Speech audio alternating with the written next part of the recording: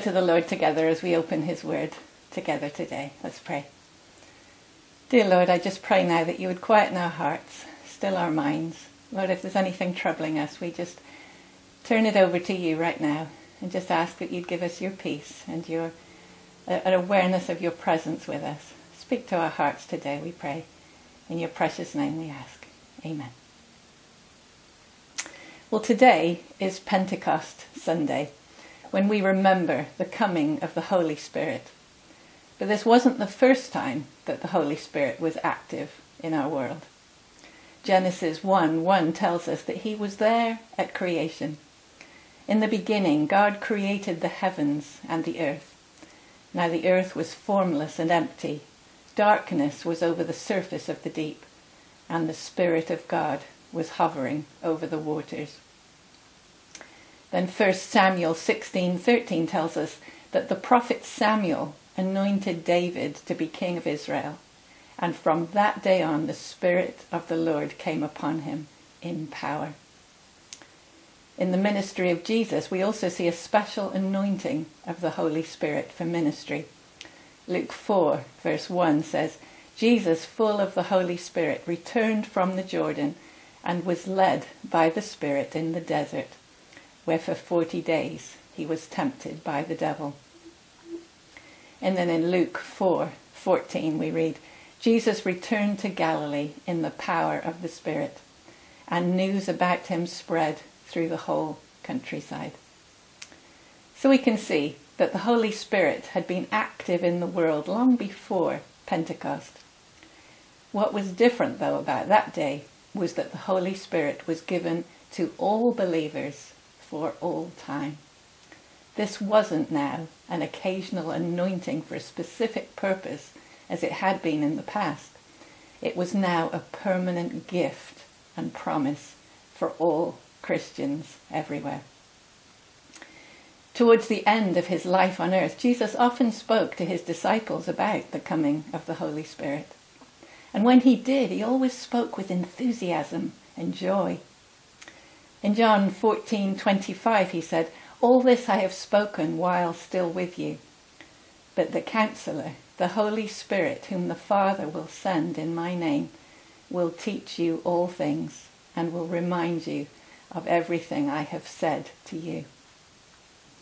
Jesus knew that it was in our best interest that he returned to the Father so that the Holy Spirit could come to us. In John 16:25 he said, "It is for your good that I go away. Unless I go, the counselor will not come to you, but if I go, I will send him to you." In Acts 1 verses 4 and 8 Jesus told his followers, do not leave Jerusalem, but wait for the gift my Father promised, which you have heard me speak about. You will receive power when the Holy Spirit comes upon you, and you will be my witnesses in Jerusalem, in all Judea, in Samaria, and to the ends of the earth. The Holy Spirit was God's promised gift for all believers. Now, we all enjoy receiving gifts on special occasions like birthdays and Christmas, don't we? But the most precious gifts are given to us by people who know us the best and know what we really need. The Holy Spirit was the gift that the early Christians really needed. And He's the gift that we today really need as well. He is the gift of God to all believers. So today we're going to look at three specific ways in which the Holy Spirit is God's gift to us. First of all, he's the gift of God's power. Jesus knew that he was leaving his followers a huge task in this world to carry on the ministry that he had begun.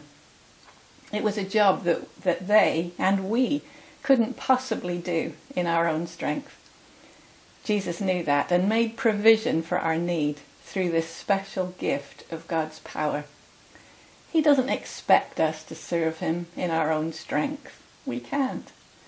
But through the power of the Holy Spirit, we can do all things through Christ. On the day of Pentecost, there were three major indications of God's power at work. The first was a sound. A very loud, sudden noise came straight from heaven and filled the whole house where the believers were gathered. This sound reminded them of a mighty rushing wind. Now, wind is one of the biblical symbols for the Holy Spirit. The disciples instantly recognized that this was no ordinary wind, but rather a powerful force coming straight from heaven itself. They recognized that God was at work. Because they were expecting God to send the Holy Spirit, and because their hearts were in an attitude of prayer, no one was afraid. They were just watching and waiting expectantly to see what God would do next. The fact that the sound that they heard reminded them of a powerful wind is quite significant. In both Hebrew and Greek, there's a single word for wind and spirit. In Hebrew, it's ruach. In Greek, it's pneuma. And we get our English word pneumatic from that, like the pneumatic drill, which also makes a very loud noise. Uh, so there was already a close association in people's minds between wind and spirit. The one made them think of the other. In John 3 8, Jesus used the image of the wind to describe the work of the Holy Spirit. He said to Nicodemus, The wind blows wherever it pleases. You hear its sound, but you cannot tell where it comes from or where it is going. So it is with everyone born of the Spirit. So, for the believers on the day of Pentecost, familiar as they were with Hebrew and Greek, and waiting expectantly on the Lord, the wind like roar that they heard was a clear indication that the Holy Spirit had come. And then, following the great sound from heaven, the second indication of the Spirit's arrival was a great sight. What looked like flames of fire separated and came to rest on each individual believer.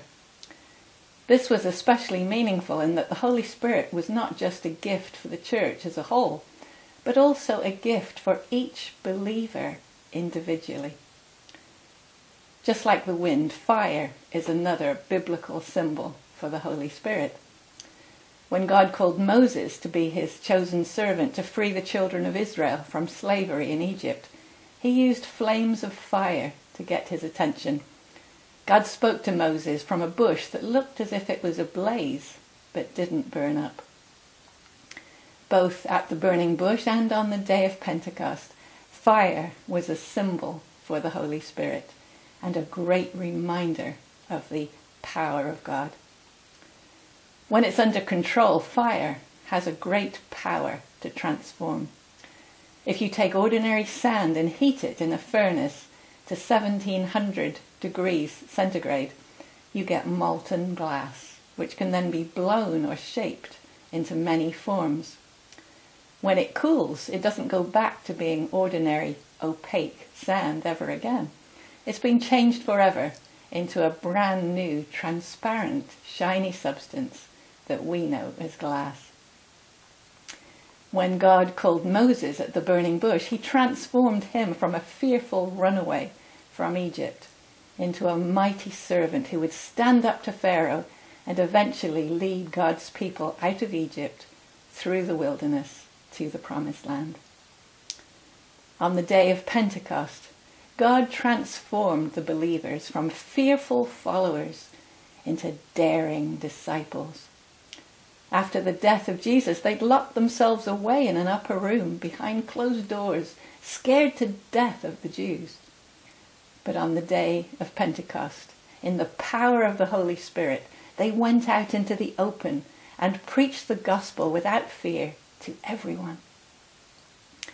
Along with the sound of the mighty wind and the sight of the tongues of fire, there was a third indication as well of God's power at work through the Holy Spirit. And that was the sign of fulfilled prophecy. In Joel 2 28 to 29, God had foretold, I will pour out my spirit on all people. Your sons and daughters will prophesy. Your old men will dream dreams, your young men will see visions. Even on my servants, both men and women, I will pour out my spirit in those days, and everyone who believes in the name of the Lord will be saved. On the day of Pentecost, the disciples went out among the huge crowds who'd gathered from all parts of the world to celebrate this important Jewish festival. Jesus had told the disciples to go into all the world and preach the gospel. But on this day, the Lord brought the world to them. There in Jerusalem were people from all parts of the known world at that time who didn't understand the local languages.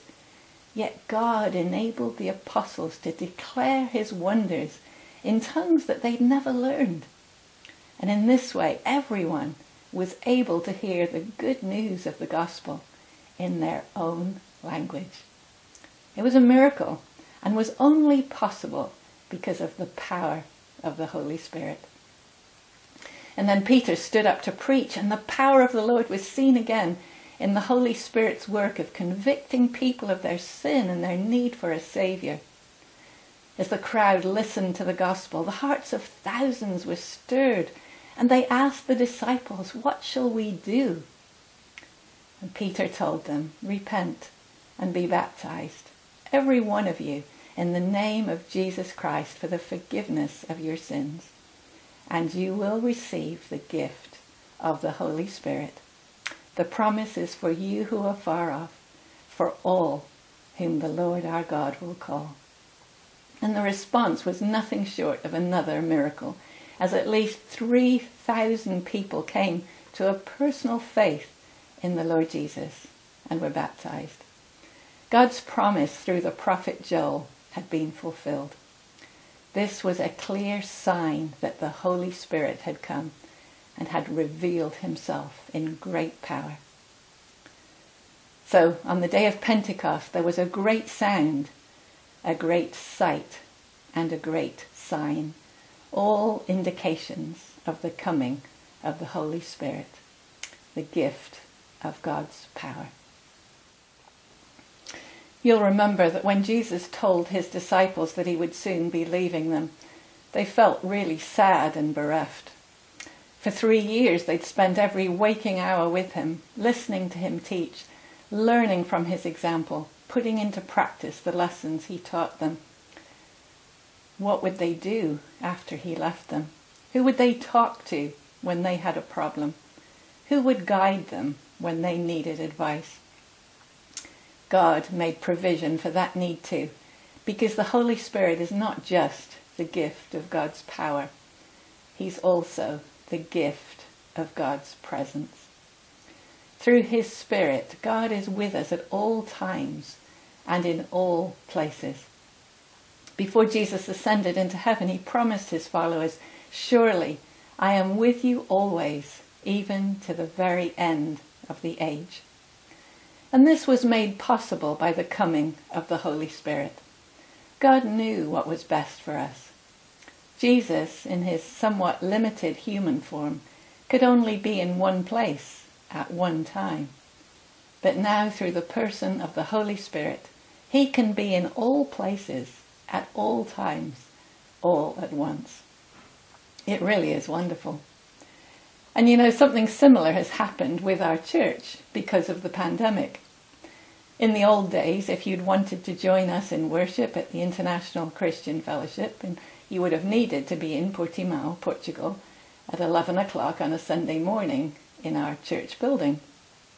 But now, thanks to modern technology and the grace of God, you can worship with our church family in any place, on any day, at any time.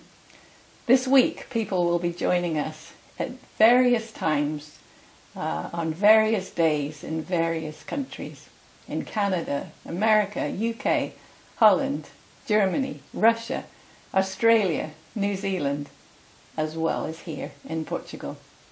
The technology is remarkable and is something that we could never have imagined years ago.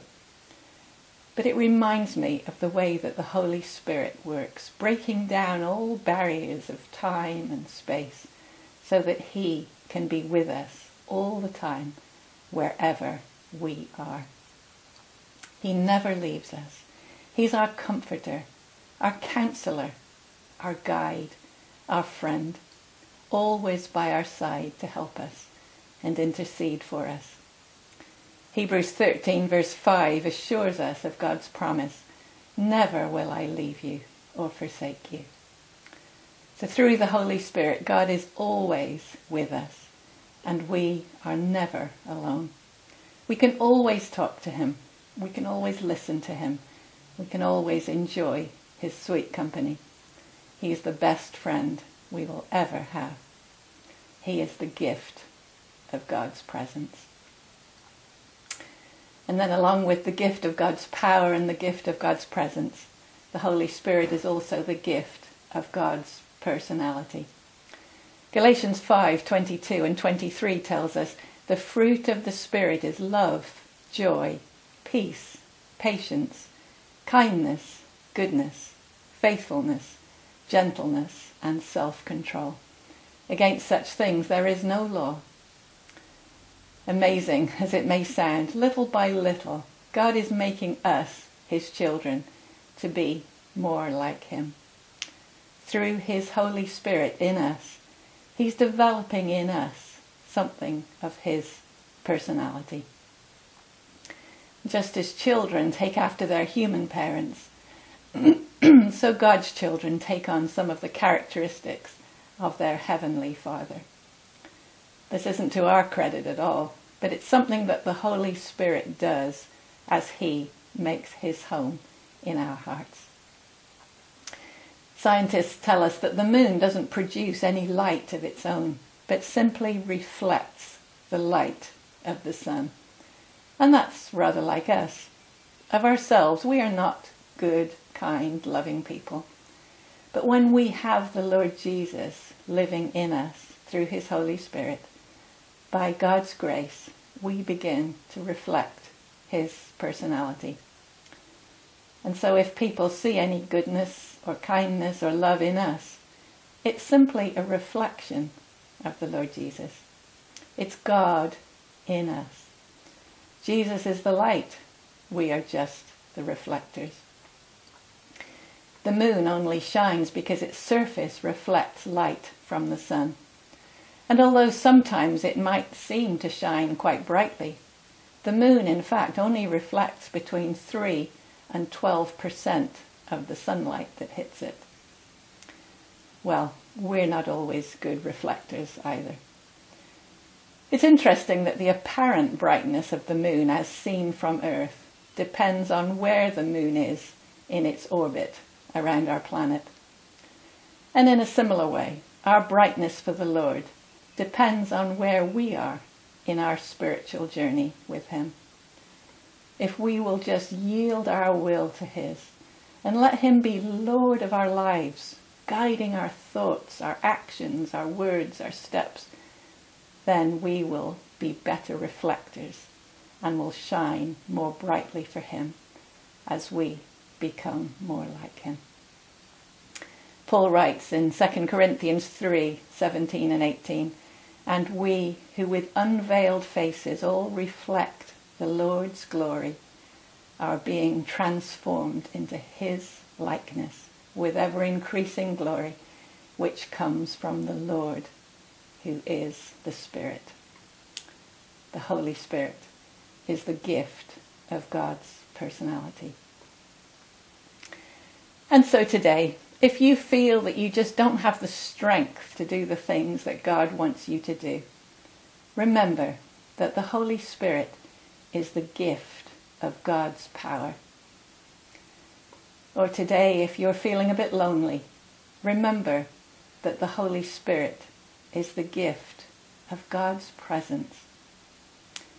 Or if you're wondering what God is doing in your life, remember that the Holy Spirit is the gift of God's personality.